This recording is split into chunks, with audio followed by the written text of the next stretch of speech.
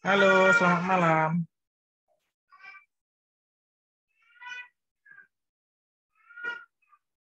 Halo, malam.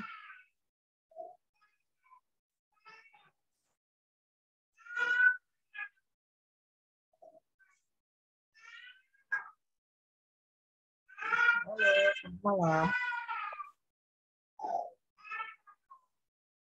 Halo, selamat malam.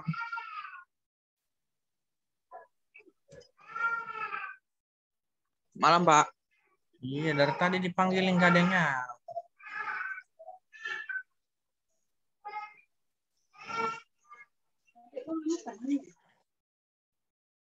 Sudah diisi apanya? Absensinya. Ya, Pak. Oke. Terus yang dikirim Pak Roy sudah diisi. Yang dikirim Pak Roy forum ini. Belum, Pak. Bentar, ada kopi aja linknya.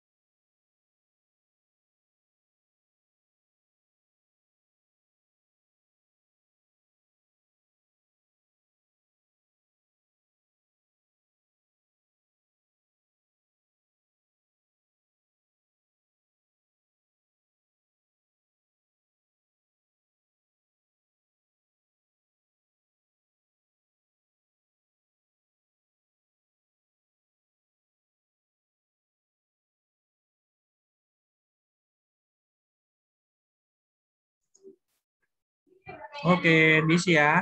Yang lain mana ya? Kok sepi kali lokalnya?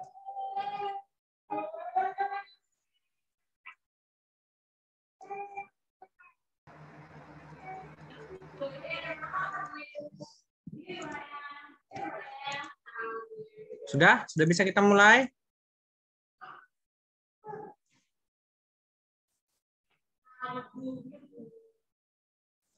Sudah bisa dimulai?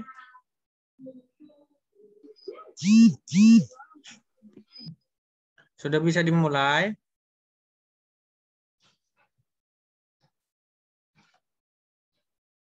Amanda, Tigor. Cepat bisa, Pak.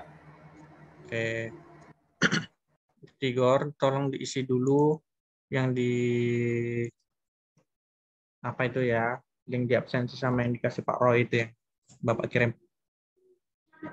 Sama siapa yang baru datang? Hasret, Has, Harsyat. Ya, Pak. Ya, Pak.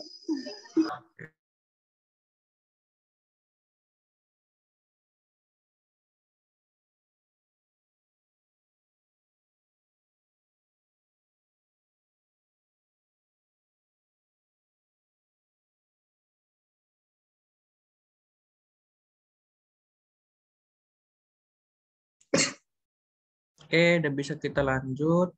Eh, sebelum Bapak lanjut, kalian semester 2 ini ya? Iya, Pak. Semester 2, Pak. Semester 1 ada belajar pemrograman, pemrograman dasar. Bahasa pemrograman dasar kalau nggak salah, Pak.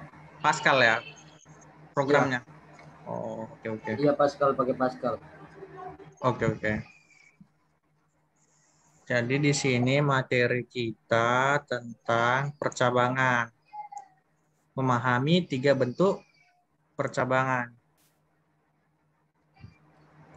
Sebelum kita lanjut, oh nggak nggak tampil ya? Belum bapak share ya? Oke ini ya, memahami tiga bentuk percabangan di dalam Java. Jadi di dasar pemrograman juga udah kalian pelajari. Udah ada pernah belajar if, else, atau if else-nya? Sudah kan? Sudah pernah kan?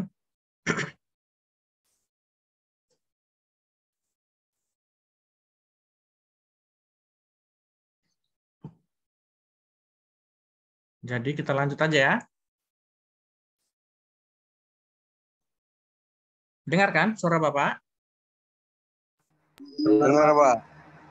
Oke, jadi di sini ada yang alur program sederhana. Ini namanya diagram alur atau flowchart. Jadi misalnya mulai, kemudian print atau ditampilkan selamat pagi, print selamat datang, print sampai jumpa, kemudian selesai. Ini program yang alur flowchart yang sangat sederhana. Kemudian, percabangan hanyalah sebuah istilah yang digunakan untuk menyebut alur program yang bercabang.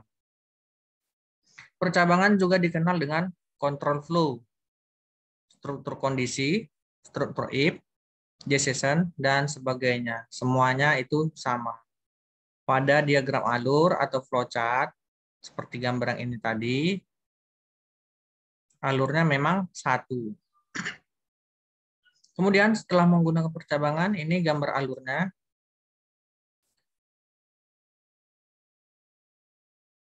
Jadi di sini mulai, kemudian print untuk selamat pagi atau ditampilkan untuk menampilkan selamat datang. Kemudian di sini dia percabangannya. Ya dan tidak. Jadi di sini pesannya mau keluar jika kita tulis ya, maka sampai jumpa. Jika kita pilih tidak, maka tidak jadi keluar. Kemudian selesai. Pernah melihat seperti itu, pesan seperti itu, misalnya kalian di handphone kalian mau keluar, ya atau tidak. Ada kan? Iya ada Pak. Oke. Kemudian caranya menggunakan kata kunci if, else, switch, dan case, dan operator ternary. Jadi di sini ada banyak caranya. Contoh format struktur if. Jadi formatnya seperti ini, if, dalam kurung suatu kondisi, buka kurung kurawal, kemudian di sinilah nanti kita kerjakan, lakukan sesuatu yang kalian, kalau kondisi benar, kemudian lakukan ini juga, terus dalam kurung kurawal. Jadi suatu kondisi hanya bernilai true false saja. Kita bisa gunakan operator relasi dan logika di sini. Ini dia tiga bentuk percabangan pada Java. Ada percabangan if, if else, kemudian percabangan if else, if, atau switch case. Kemudian percabangan ini hanya memiliki satu pilihan. Artinya, Pilihan di dalam if hanya akan dikerjakan kalau kondisinya benar. Tetapi jika salah, tidak akan melakukan apa-apa atau lanjut ke perintah selanjutnya. Jadi contoh, pernahkah kalian belanja di toko, kemudian kalau belanja di atas sekian ribu, misalnya di atas 200 ribu atau di atas 100 ribu, maka dapat hadiah atau diskon. Nah ini contohnya. Misalkan ada sebuah toko buku mereka memberikan hadiah berupa perlengkapan sekolah, misalnya pulpen hadiahnya kepada pembeli yang belanja di atas 100 ribu. Pernah gitu kan belanja? Misalnya kita belanja 100 ribu, ada hadiahnya. Pasti sering, ini yang paling sering berburu pasti cewek. Berburu gratisan atau diskon. Jadi ini dia untuk contoh programnya. Nanti bisa kalian tulis di rumah. Ini ya, import class until scanner. Jadi di sini contohnya yang kita beri nama hadiah. Ini kebetulan sudah Bapak ketik programnya. Nah, jadi di sini untuk nama filenya nanti kalian buat namanya hadiah ini ya hadiah titik java coba lihat nih sama yang bapak lingkar ini sama. Jadi kebetulan Bapak nulis programnya di subline text biar kelihatan cantik. Kalau di notepad dia nggak cantik. Misalnya nih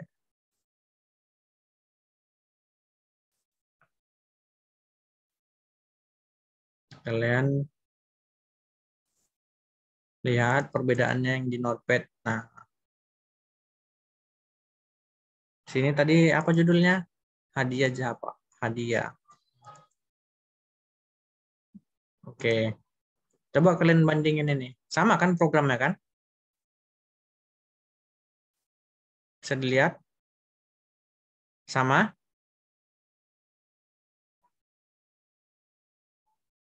Halo? Sama tidak ini programnya? Iya Pak, sama Pak.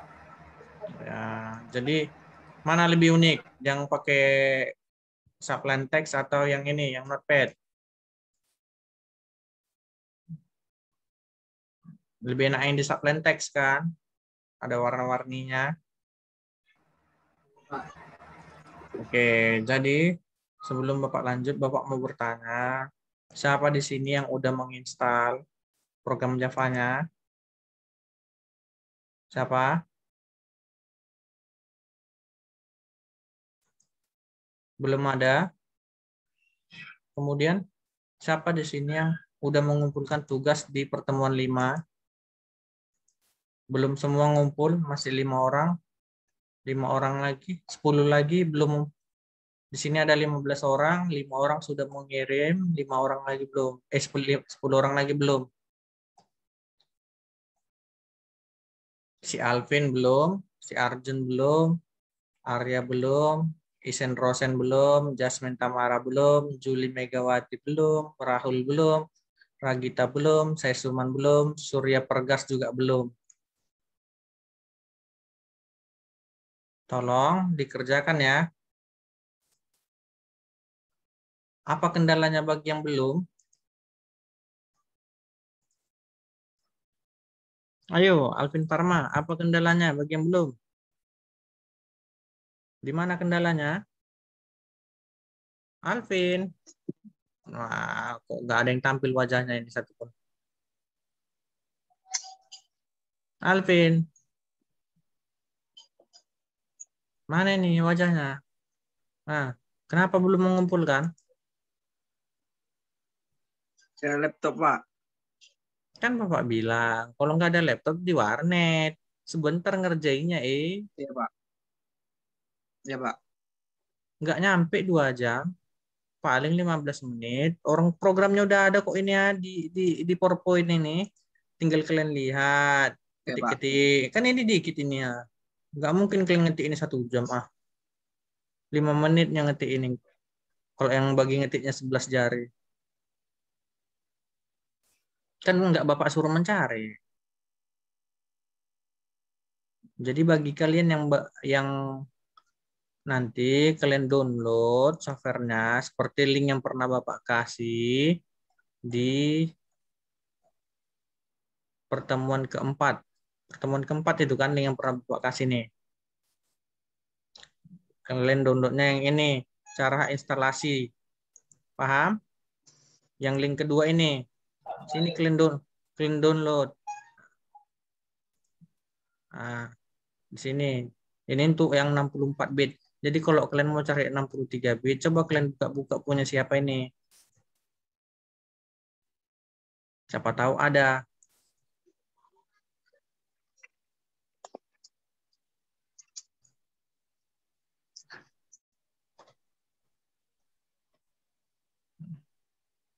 Paham? Paham. Oke. Jadi kita lanjut. Bagaimana cara menjalankannya? Buka komen from. Kemudian masuklah kalian ke CD C titik dua garis miring dua kali Java. Paham cara menjalankannya ini? Lihat yang kolom sebelah kanan ini yang hitam kali. Jadi usahakan kalian sudah nyampe di C nih. C slash Java. Kemudian kita harus memanggil si ini. Si hadiah ini. Nama filenya yang kita yang Bapak simpan. Ini. Itu adalah nama file yang Bapak buat. Jadi harus itu yang kita panggil. Jadi bagaimana cara manggilnya? Ayo, yang sudah. Materi Tigor, bagaimana cara manggilnya?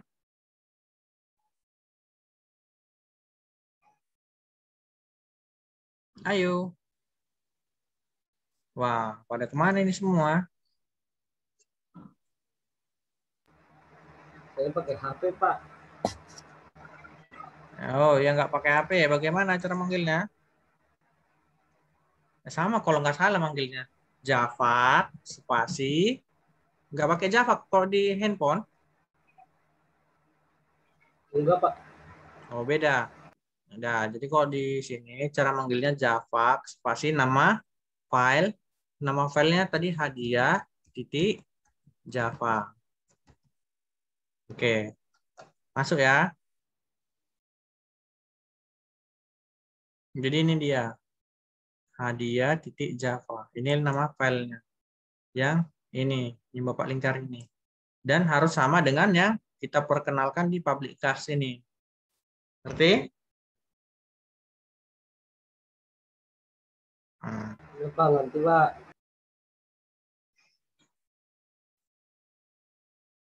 Kita lanjut. Terus cara manggilnya lagi cara eh, cara selanjutnya Java spasi nama file. Nah, dia nggak usah pakai titik Java untuk yang kedua. Tinggal enter. Maka di sini tampillah total harga belanjaan. Jadi tadi perintahnya jika belanjanya di atas 100.000 maka dia dapat. Coba kita buat harganya 150.000. Harga belanjaannya. Maka di sini selamat Anda akan mendapatkan hadiah. Coba jika tidak bagaimana? Misalnya 90.000. Maka dia langsung tampil terima kasih. Oke, kita tengok programnya. Total belanjaan RP. Dia dari mana? Yang ini. Yang Bapak merah Total belanjaan RP ini dia dari mengambil input yang ini. Ini. Ini kan namanya mengambil input. Ini adalah yang tampil pada saat programnya jalan. Sama? Kemudian 150.000 ini kenapa bisa tampil yang ini? Dia dari proses yang ini. Ini ya, yang if ini. Jadi if jika belanja lebih besar dari 100.000, maka nanti tampillah pesan selamat anda mendapat hadiah. Tulisan ini dia tampil di program yang ini. Tampil. Kemudian tulisan terima kasih yang ini atau yang bawah ini dia tampil dari yang ini bawah ini. Paham?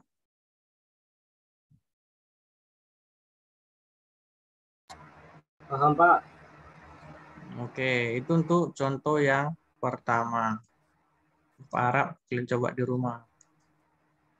Kita masuk ke PowerPoint lagi. Di situ percabangan if else. Jadi Percabangan if else memiliki pilihan alternatif kalau kondisinya salah.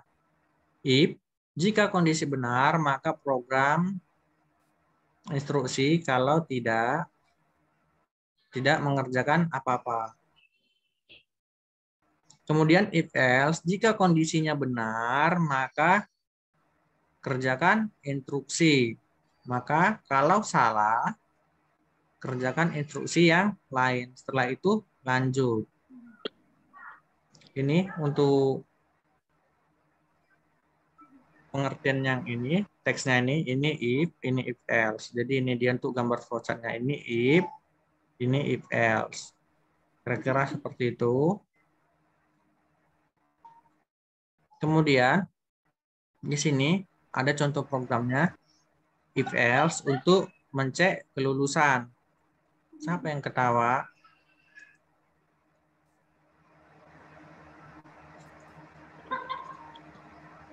Jelly, tolong di mute kalau ketawa.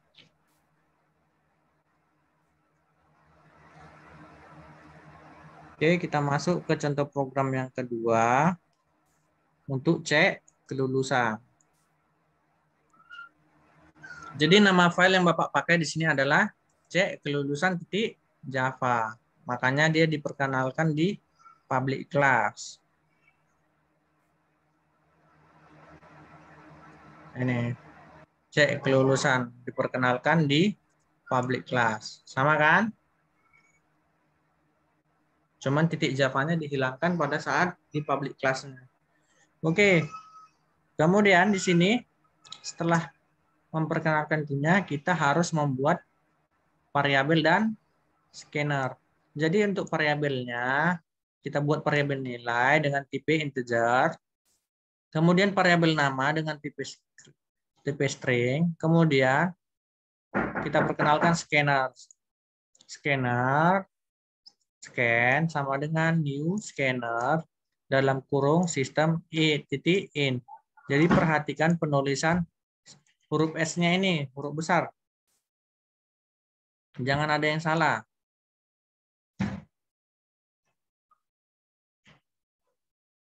Selanjutnya, kita akan mengambil input. Jadi fungsinya mengambil input ini, inilah yang akan tampil di program pertama kali pada saat jalan. Jadi nanti tampil ini nama titik dua, nilai titik dua. Ini yang tampil di programnya. Boleh kita cek. Jadi kalau kita mau masuk ke program selanjutnya, ini kan jelek kan? Maka bagaimana caranya biar programnya bersih, layarnya bersih, maka kalian bisa menekan mengetikkan CLS. Artinya clean screen. Jadi di sini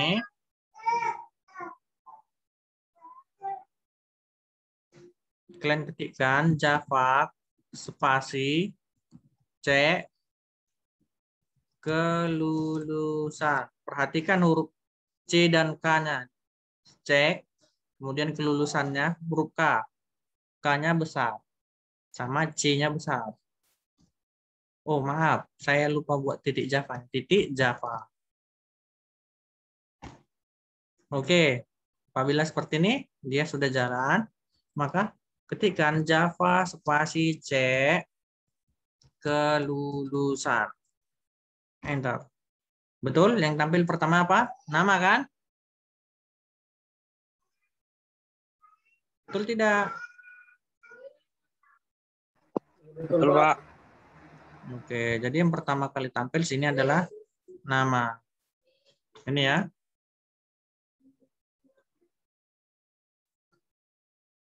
Kemudian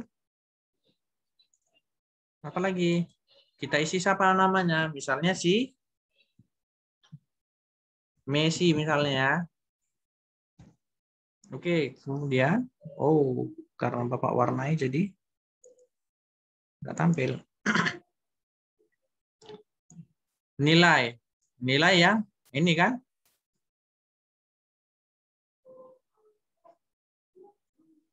Maka kita isi misalnya nilainya berapa?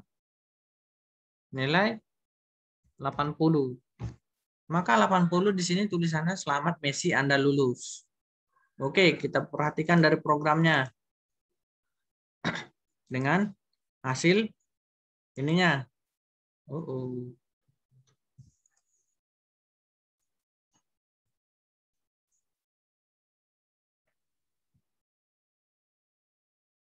Bentar ya.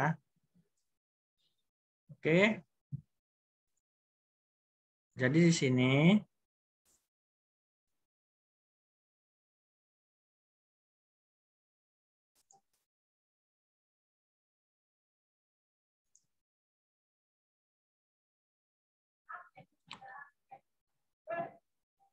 nama tadi tampil dari yang ini. Kemudian nilai ditampil yang ini. Kemudian proses nilai ini dari mana? Yang 80 ini.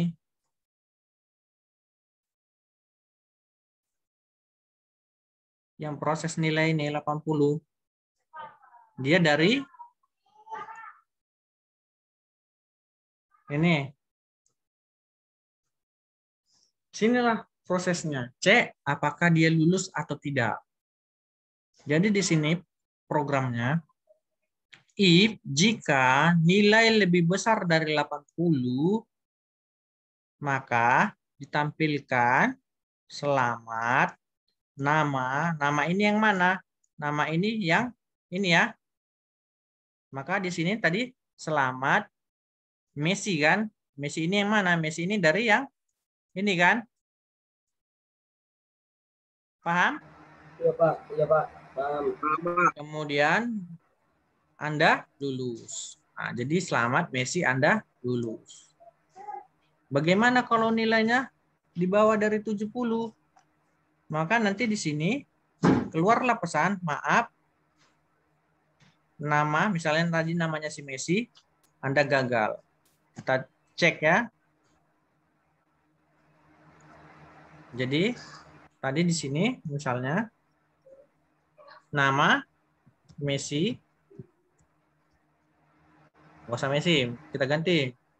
Misalnya si Ronaldo. Ronaldo nilai Anda misalnya kita buat 70 tadi lebih besar dari 70 kan? Kalau 70 bagaimana? Dia masih lulus. Jadi kita buat 69 maka eh kok salah? Maaf maaf.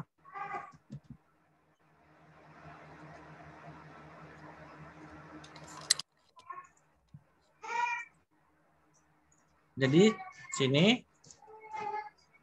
kita lagi. Cek kelulusan namanya si Ronaldo. Nilainya 69 maka keterangannya maaf Ronaldo Anda gagal ini ya di program yang kedua. Jika lebih besar dari 70 berarti dia nilai 70 ke atas. Paham?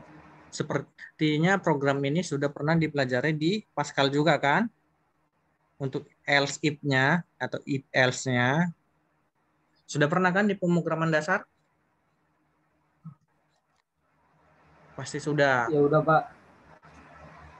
Oke, kita lanjut ke PowerPoint-nya.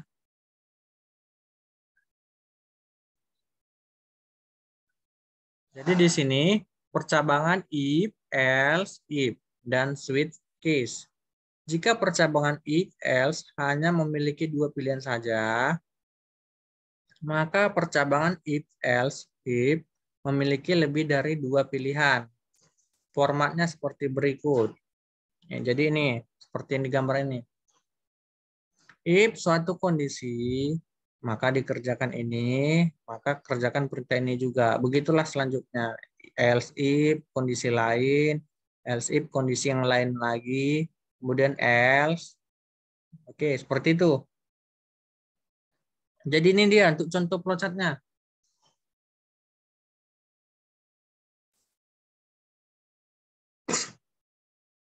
Misalnya di sini, jika nilainya lebih besar dari 90, maka dia mendapatkan grade A. Berarti dia dimulai dari nilai berapa?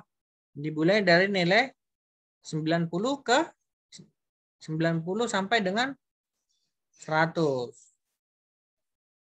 Kemudian else. Jika nilainya lebih besar dari nilai nilai 80, maka dia memiliki grade B.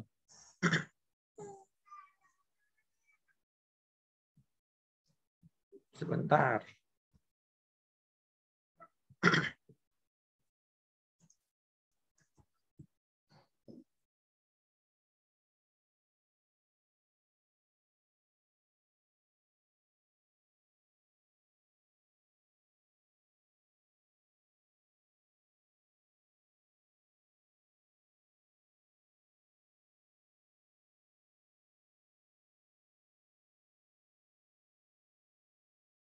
Oke, maaf ya. Kita lanjut. Waktunya juga udah mendesak. Jadi jika nilainya lebih besar dari 80, maka dia dapat grade B+. Ini ya. Nilai 80 lebih besar dari 80. Berarti nilai 80 sampai dengan 8, 9. Maka dia akan mendapatkan grade B+. Selanjutnya, eh, else lagi, jika nilainya lebih besar dari 70, maka dia akan mendapat grade B. Jadi dia dimulai dari 70 sampai ke 79. Selanjutnya, jika nilai lebih besar dari 60, maka dia mendapat grade C. Maka dimulai dari 60 sampai dengan 69. Maka jika di luar ini, maka dia false. Oke, coba kita lihat di programnya. Oh, ini keterangannya. Jika nilainya lebih besar dari 90, maka grade-nya A, pas ya. Sedangkan kalau lebih besar dari 80, maka B+. Lebih besar dari 70, maka B, B dan seterusnya. Oke, itu ya. Jadi ini untuk programnya. Sebentar, Bapak buka dulu. Ini dia, hitung grade Java. Jadi untuk namanya ini ya, hitung grade. Kemudian ini dia keterangan yang tadi, keterangan di flowchart-nya. Misalnya ini, cuman ini ditambahin ada C, D, dan E. Jadi kita tampilkan programnya misalnya. Oke, bagaimana cara manggilnya tadi? Java, spasi, hitung grade, titik, Java. Oke, masuk. Maka Java, spasi, hitung grade. Oke, maka tampillah perintah mengambil input. Ini ya, perintah yang ini. Maka di sini dituliskan, inputkan nilai. Ini dia, inputkan nilai. Maka, berapa kita inputkan? Ayo, berapa kita buat? Windy, nilai berapa kita buat? Halo? Halo? Halo? Wah, pada kabur ini. Windy, Arya. Halo? Arya? Alvin? Astrid? Mana nih? Halo. Iya, Pak. Ke mana semua dipanggil kok gak dengar. Jangan-jangan handphonenya diletakkan. Kelintah ke mana-mana. Serah, Pak. Iya kan? Dipanggil nggak dengar. Mau nilai berapa ini dibuat di programnya?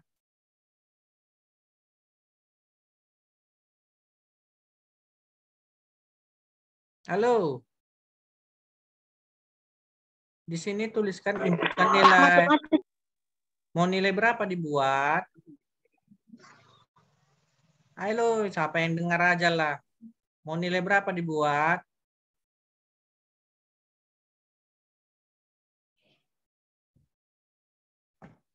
Halo. Mau nilai berapa dibuat? 75 coba Pak. Berapa? Aja, Pak. 75. Iya Pak. Oke, 75. Maka di sini dia grade B.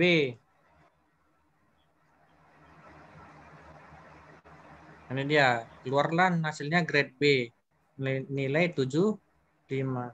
Jadi nilai 75 itu dia di mana? Tadi untuk nilai 90A, 80 B dan 70B. Berarti dia di sini kan? Iya, Pak. Nah, berarti ini kisaran dari 70 sampai dengan 79.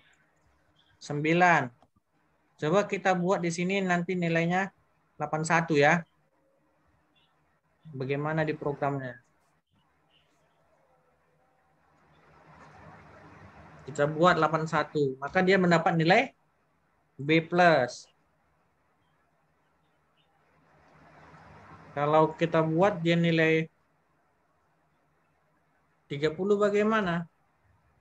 Maka dia mendapat nilai E. C.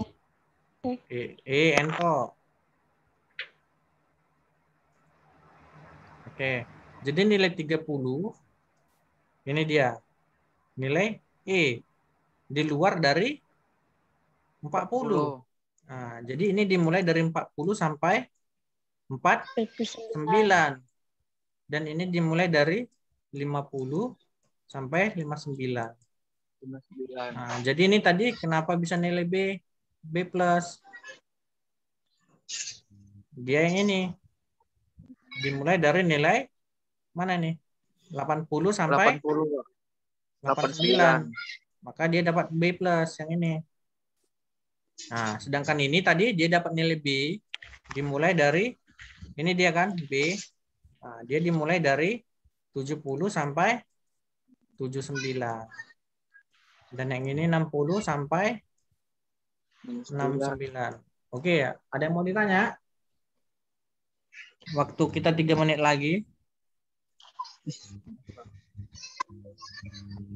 Oke. Jadi di sini nanti banyak yang sudah Bapak share contohnya. Tolong kalian lanjutkan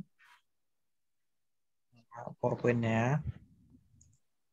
Nah, ini sudah kan hitung grade. Coba nanti kalian latih lagi untuk suite case-nya. Di sini ada programnya. Kalian baca-baca. Kemudian ini dia untuk programnya. Di sini ada program lalu lintas. Jadi di sini nanti jika kita buat warna merah, kita ketikkan merah, maka berhenti. Jadi kalau kuning, hati-hati. Kalau hijau, jalan. Jadi kalau di luar dari warna merah, kuning, hijau kita ketikkan, maka tidak jalan. Ya, tolong di kalian lanjutkan nanti nih ya. Bisa. Sama. Oke. Jadi karena ini ketua KKD pun uh, karena apa namanya? Sebentar lagi UTS, ya siap-siap lah dikerjakan ini. Jadi bagi yang lagi tidur-tidur, goyang kaki di rumah nggak peduli ya, rasakanlah nanti kalian dapat nilai jelek. Kemudian di sini ada percabangan dalam nested. Kalian coba juga. Ini untuk flowchartnya. Ini dia programnya, sudah ada. Hampir sama seperti yang tadi, pakai if else if else ya. Yang ini. Jika if kartunya. Jadi yang pertama kali ini, yang sebelah kiri ini kalian kerjakan. Karena nggak muat dia di screenshot, ya ini dulu kerjakan. Setelah itu nanti buat lagi di bawahnya yang ini. Ya. Paham? Karena kalau di screenshot kalau di screenshot rame-rame dia kecil programnya.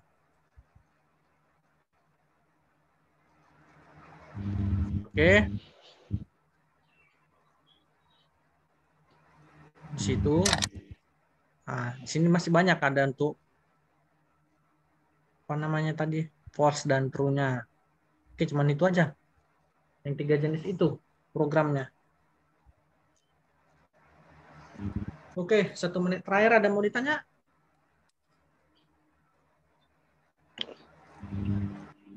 Kita akhir aja ya. Pak. Hah? Oh, paham.